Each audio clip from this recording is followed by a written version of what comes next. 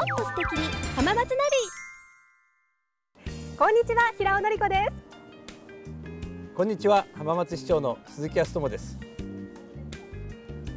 いや市長いつもは浜松市役所内の市長室にお伺いしてお話伺っているんですが、今日は先日浜名湖花博2014が開幕したということで、はい、春爛漫の中そうですね。会場の一つ浜松フラワーパーク会場からお送りしていきます、はい、今日は花博について伺っていこうと思うんですが、はい、花博といえば、はい、10年前浜松は花と緑の一大産地ということで、はい、2004年に浜名湖花博が開催されまして10周年を記念して今回は、はい、かつてのガーデンパーク会場とそしてここ浜松フラワーパーク会場と、2会場で開催しているということなんですよね。そして、市長ご自身は、実行委員会の副会長をされていらっしゃるということで、はい、大い。に PR していただきたいなと思うんですが、はい、まずは浜松フラワーパーク会場の見どころというとどんなところでしょう、ね、あのまずね3月21日に開幕して、しましてね、このフラワーパーク会場が皮切りでですね、えー、花博が開幕したんですね。でこのフラワーパークといえばですね昨年の春、えー、大きな、あのー、変革が行われましてね、はい、えー、フラワーパークをですねもう一度ですねえー、再生しようということで、えー、塚本かなみさんというですね女性樹木医で、はい、足利フラワーパークを再生させた全国的に有名な塚本さんを理事長にしましてね、はい、で今フラワーパーク再生登場なんですね。はいもうねだいだいぶ入場者数も上がってきているんですよね。ええ、今回の花博でねこれが起爆剤となってもう一度フラワーパークがね素晴らしい植物になるといいなと思ってるんですね。そうですね。でこのフラワーパークといえばですね、はい、この会場の特徴はね、はい、もう四季折々にこう花々がですねあの咲き乱れるということですけども、はい、今回の花博でもですね、えー、時間とともにですねこう見どころが変わっていくと。大体2週間ぐらいでですね展示が変わるわけですけれども、はい、まあそういうふうに合わせてですね植栽もされてるんですね。はい、私もあのオープニング当初からだいぶ今に変わってきた花々を感実感しています。そうですね。あのオープン時のはですね、はい、目玉は何と言ってもですね、まあ世界一美しい桜とチューリップということでしたね。はい、えー、その共演が見見どころだったんですけども、はい、だんだんこう時間とともにですね見どころが変わってくるんですね。これは本当に日々楽しんでいただきたいですね。はい、ですね。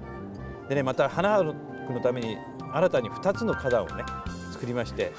で特にスマイルガーデンというのがですね、国際的に活躍をされているですねガーデンデザイナーの吉谷恵子さんが手がけた英国風の庭園でありましてこれはもうね一見の価値ありですね。本当に素晴らしいですね。はい、はい。そして先ほども触れましたように、はい、2004年の浜名湖花博から10年ということで10周年を記念してこの花博開催されていると思うんですが、はい、この10年の間に市民の皆さんより花と緑に対する関心が高くなってさらに浜松市は花と緑に関する活動も素晴らしいものがあるそうですね。はい、はい、あの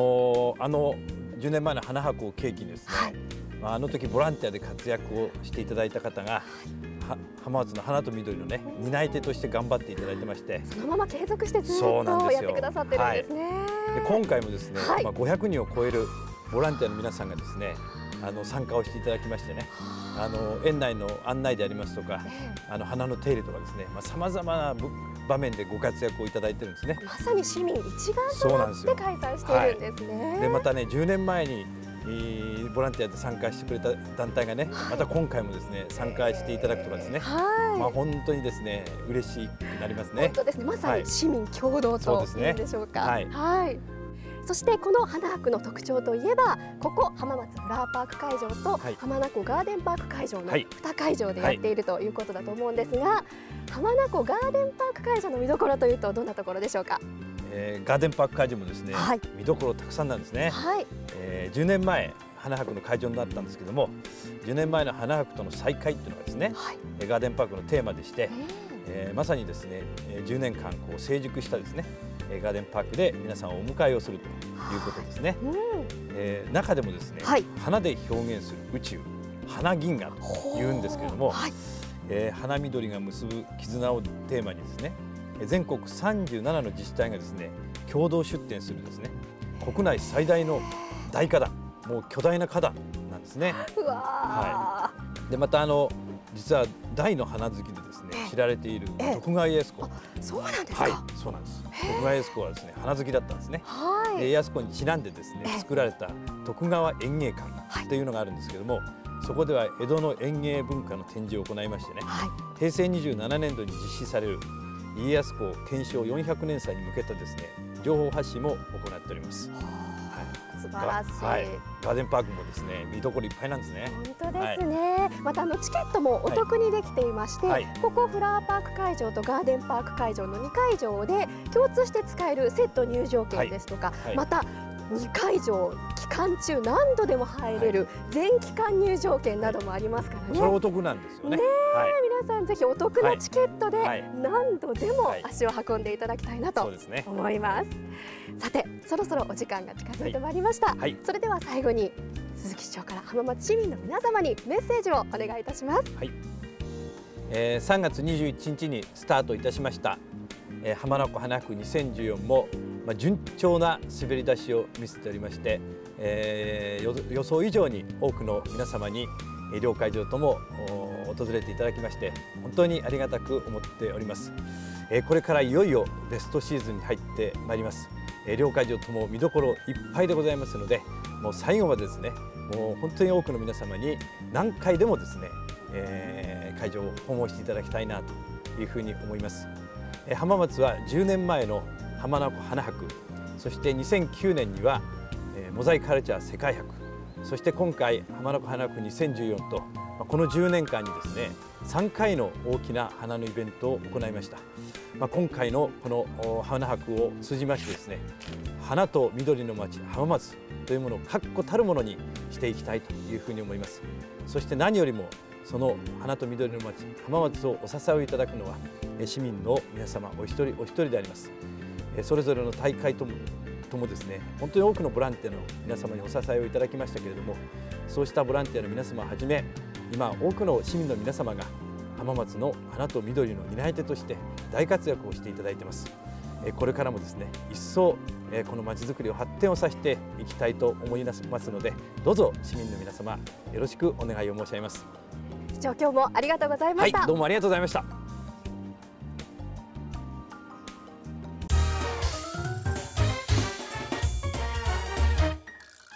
教えて市長。さあ今月もやってまいりました。このコーナー。じゃじゃん。教えて市長。今回は浜名湖花博2014が開幕したということでせっかくですからもう少し花博について伺っていこうと思います。市長どうぞよろしくお願いいたします、はい、よろしくお願いします。あの花博と言いますと、はい、10年前、はい、2004年に開催されてから、はい、今回10周年ということでやっていますけれども、はい、10年前花博花博会場へは行っていらっしゃいますはい、あのー、10年前はですね、はい、ちょうど私国会議員をまだ当時務めてたんですけども、経済産業委員会という委員会がありましてね、はい、そこでですねじゃああの浜名湖花博をですね視察に行こうということになりまして、えー、経済産業委員会のですね、はい、メンバーを連れて会場をずっとですね、えー、見学したというのがございましてね。なんかあの自慢ですよね。地元の浜松に。でねみんなやっぱりね、はい、浜松っていうと工業都市だと思ってるわけですよね。そうですね。はい、ものづくりの街っていうのが有名ですから。はい。だからこんなにね、あの農業も盛んで、はい、特にこう花がですね、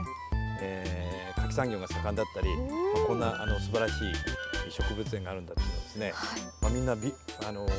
国会議員の皆さんもですね驚いてましたんでね。あそうですよね、えー、それは地元としては自慢ですね。そうですね。はい、当時としては本当に画期的なことだったと思うんですが、はい、まあそれまでも私たちはね、はい、花と緑に囲まれて生活をしてきましたけれども、そこからより花と緑に関心が高まってきましたよね。そうですね。今回花博会場、どうですか？いやいいですね。もうあのフラワーパークはねもう、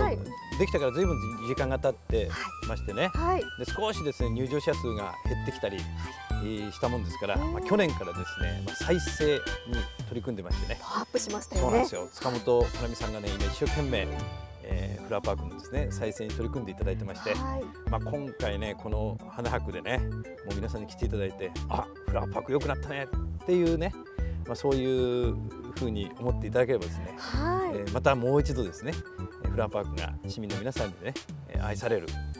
施設になるんじゃないかなということで期待してますね。そうですね。はい、あの今回この花博会場では、はい、小波先生の演芸教室などもあるようですね。もうねフル回転ですからね。はい。もう理事長としてのですね活動とともにですねもうやっぱり、えー、コナミさんっていうのは全国的にも有名ですからねファンもいっぱいいますんで。はい。もう富士といったらそうですね。コナミ先生ですから、はい、これから富士棚が見頃を迎えますから、ね、ちょうど楽しみですよね。そうですね。富士もさることながらもういろんなですね園芸の知識ありますから、はい、もうコナミさんの園芸教室はねえ多分大人気になると思いますね。すね。はい、でしかもこの花博期間だけではなくて、はい、浜名湖花博によって、はい、このフラワーパークが、こんなに素晴らしかったんだってことを、改めて認識していただけそうですよね。そうなんですよね。もう市民の皆さんだけでなくてね、えー、市外県外から来られる皆さんにもですね、あ浜名湖のそばにこんないいとこがあったんだって思っていただけるとね、まあ、この地域の観光もですねより一層活性化されるんじゃないかと思いますね。はいあのフラワーパークと言いますと、はい、私たちは遠足などで必ず来るところでもあるんですけれども、はい、市長はフラワーパークというと？そうですね。もう私がもうちょっと大人になってからもできてましたからね。はい、私はですねよくあの東京からねお客さん来た時にはですね必ず浜浜名湖をお連れするんですけども、はい、その時にはよくですねフラワーパーク寄ったんですね。結構皆さんやっぱりね、あの喜ばれますね。はい、今結構全国にあのいろんな植物園ありますけども、はい、当時は割とこれだけの規模のですね、植物園というのは珍しかったんで、えー、結構お連れすると皆さんあの喜んでいらっしゃいましたですね。はい、花期間中だけじゃなくてね、本当にいつでも花がある緑もある状態ですからね、はい、ぜひ楽しんでいただきたい、ね、そうですね。あの小波さんが四季折々にいろいろ工夫してですね、はいえー、見せ方なんかもですね工夫されてますんで、はい、これ花博終わってもですねまあぜひですね継続的に皆さんに訪れていただきたいと思いますね。そうですね。はい、それからちょっとお伺いしたいのが、はい、花なんですけれども、あのよくね、小波先生はこういった花博の会場の一部分を切り取って、はい、ガーデニングなんかしてみてなんてよくおっしゃってるんですけれども、ね、市長はどうですか？あ、私はうちのあの父とかね。はい。あえうちの妻はやってますけども。やはりもうこれ私はあの鑑賞鑑賞する方です鑑賞専門あのちなみに奥様に花束の贈り物などはされますか、はい、ああまりしたことないしなきゃいけないですね。そうですね。これを機会に、これを機会に、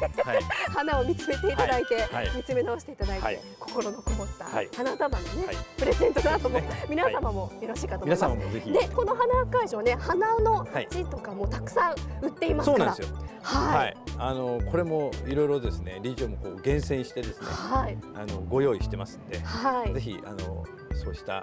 花やね、あの鉢なんかもですね。買って帰っていただくといいんじゃないかなと思いますね。にぴったりですよ。はい。私も買って帰ります。私も買って帰ります。さてこのコーナーではまだまだ皆様方からのお声を募集しております今日お話しいただきましたいよいよ開幕浜名湖花博2014についてのご意見ご感想ご質問そして市長にちょっと聞いてみたいといったお声を募集しております宛先はこちらです郵便番号430-8652浜松市役所校長広報課もっと素敵に浜松ナビ係ファックス番号は053-457-2028番。メールアドレスはご覧の通りとなっています。市役所のホームページからもアクセスすることができますのでこちらも合わせてご利用ください。皆様方からのたくさんのお声をお待ちしております。市長今日はありがとうございました、はい、どうもありがとうございました。